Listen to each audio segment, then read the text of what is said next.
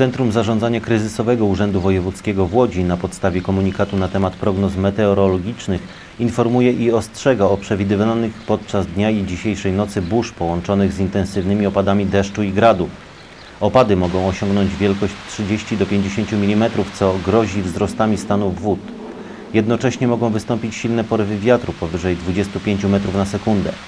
Mieszkańcy proszeni są o zabezpieczenie okien oraz usunięcie wszelkich przedmiotów z balkonów, które po uniesieniu przez wiatr mogłyby stanowić zagrożenie. Natomiast wtedy, kiedy nadejdą słoneczne i upalne dni, powiemy Państwu o tym, jak się opalać, żeby to było skuteczne, a co najważniejsze bezpieczne. Pokażemy również preparaty, które dopomogą w polepszeniu karnacji swojej skóry.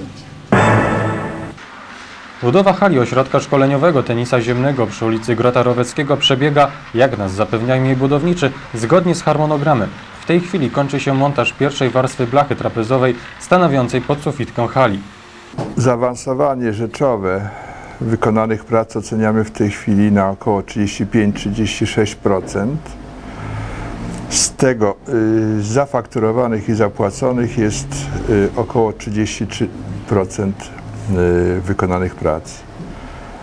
Ciekawostką jest to, że od początku realizacji, a przypomnę, że budowa była rozpoczęta pię- y, 1 lutego, minęło 5 miesięcy, czyli około 28% czasu przeznaczonego na realizację tej inwestycji. Także z tych danych wynika, że inwestycja przebiega jak najbardziej prawidłowo i zgodnie, jak mówiłem, z harmonogramem budowy. W tym roku planujemy zrealizować prace o wartości 4 miliony 460 tysięcy. Y, Pozostałe do kwoty 8,460 w roku przyszłym i mniej więcej w połowie lipca przewidujemy zakończenie budowy i przekazanie obiektu do zagospodarowania. Jesteśmy z postępu prac zadowoleni i sądzimy, że termin umowny 15 lipca przyszłego roku powinien być y, dotrzymany. Jeszcze w tym miesiącu zostaną zakończone wszystkie prace murowe i stropy nad obiektami stanowiącymi przybudówkę do hali. Wszystkie prognozy zapowiadają jedno. Najprawdopodobniej pod koniec lipca bądź na początku sierpnia roku 2000 hala ta oddana zostanie do użytku.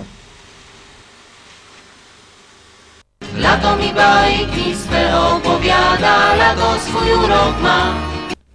Trwają pierwsze turnusy obozów organizowanych przez Pawieński Hufiec w ramach harcerskiej akcji letniej. Harcerze dysponują jeszcze wolnymi miejscami na drugich turnusach.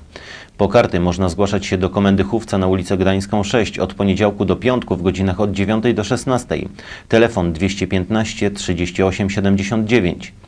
Dzisiaj oferta wypoczynku na 24-dniowym obozie w Kopernicy koło Chojnic nad Jeziorem Harzykowskim. Obóz położony jest w wysokim lesie sosnowym na terenie Zaborskiego Parku Krajobrazowego. Znakomite miejsce do uprawiania czynnego wypoczynku, wędrówek pieszych i wycieczek krajoznawczych.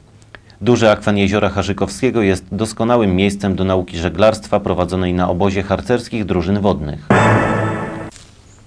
Pabieński Klub Sportów Ogólnowojskowych LOK Walter w ramach letniego wypoczynku dzieci i młodzieży pozostających w okresie wakacji w mieście organizuje nieodpłatne zajęcia wypoczynkowo-sportowe na strzelnicy przy ulicy Parkowej.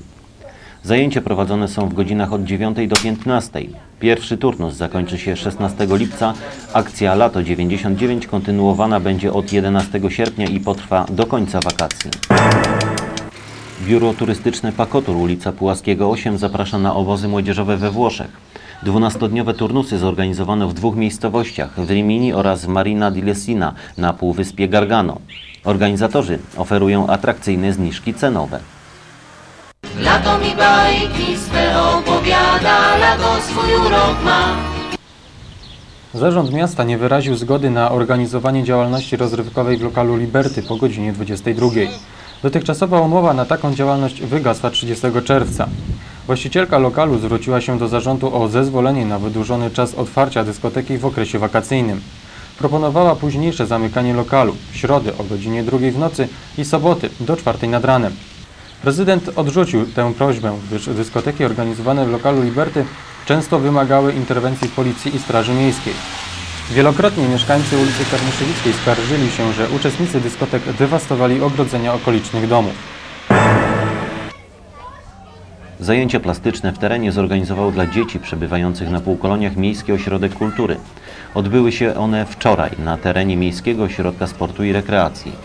W okresie zimowym y, w Miejskim Ośrodku Kultury były kartki papieru, teraz jest już y, jakaś wyższa forma tej edukacji.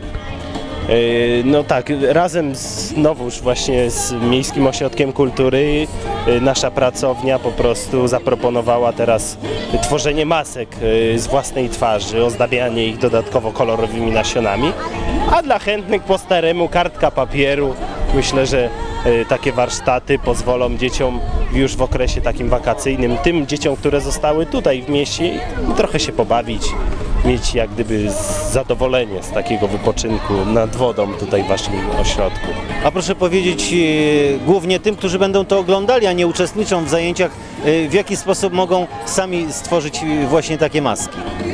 E, Maska wydaje się trochę trudna, bo e, dwie osoby najpierw smarują twarz e, tejże jednej osoby tak, takim kremem, następnie nakładają specjalne gaziki gipsowe. E, Tutaj oczywiście to wymaga wytrzymałości tam 10 minut pod tym gipsem, no a później zdejmujemy z twarzy, czyli dokładnie tak jak ktoś ma duży nos albo małe usta, to tak mu wyjdzie taka twarz. No i po zdjęciu ta twarz właśnie, ta maska jak gdyby jest jeszcze ozdabiana kolorowymi nasionami, przez co nadajemy jej dodatkowy efekt, jakiś charakter i tak dalej. Prawie jak maski afrykańskie. Tak, dokładnie, to można tak dokładnie powiedzieć. Myślę, że bardzo podobna technika.